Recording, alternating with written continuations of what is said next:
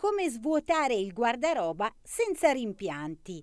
Ogni anno tra una stagione e l'altra ritorna il tanto temuto momento del cambio dell'armadio e se quello dall'estate all'autunno ci sembra ancora lontano, è anche vero che le spese folli durante i saldi possono rendere indispensabile dare una sistemata a scaffali e cassetti ormai saturi.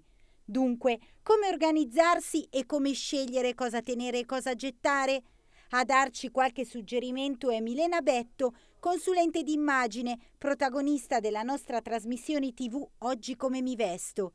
Spesso i nostri vestiti ci ricordano qualche momento passato particolarmente emozionante, dice. È giusto quindi tenerli, ma è altrettanto giusto e doveroso fare una selezione e chiederci se davvero riusciremo mai a indossarli ancora. Io consiglio sempre, anche quando lo faccio io, di tenere le cose che so che domani potrò mettere. Cioè, mi spiego, domani devo andare in negozio, domani devo andare in ufficio. Ecco, mi metto questa maglia sì, no, se sì la tengo, se no la metto via, perché se non la metterò domani non la metterò neanche dopodomani, neanche dopodomani. E noi magari abbiamo delle cose in cui siamo affezionati perché magari o abbiamo speso magari una certa cifra oppure ci ha accompagnato in, non so, in qualche cena, in qualche, in qualche evento che ce lo ricordiamo. Però poi siccome il vestito, come ci presentiamo, fa parecchio e, e e insomma ne va un po' anche magari del, del nostro lavoro, di quello che dobbiamo fare, ecco, scegliamo bene cosa tenere e cosa non tenere. Due vantaggi? Siamo vestite bene, siamo vestite nuove, possiamo comprarci qualcosa di nuovo e l'armadio non è soffocato e non corre di caderci addosso tutte le volte che lo apriamo.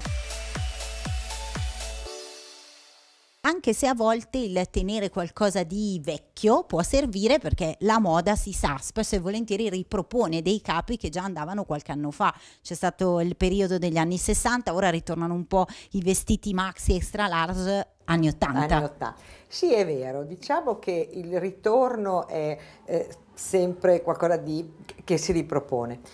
Eh, ma il, è, è, il sapore che ritorna, è l'idea del taglio che ritorna. È bello tenere, secondo me, qualcosa di vintage che magari avevi, di importante, ma altre cose che magari sono state comprate mm, non, non ci vanno più, perché se le, se le proviamo, vediamo che comunque e compriamo una cosa simile che ricorda, vediamo che quella ormai è obsoleta, quindi non è eh, vintage, è vecchia. Volete mettere, riprendere qualcosa tipo questa che può avere il gusto anni 80, ti ricorda magari una serata in discoteca, però non è quella di una volta che magari, diciamocelo, il tempo passa e non ti va neanche più tanto bene, insomma le forme cambiano. Eh.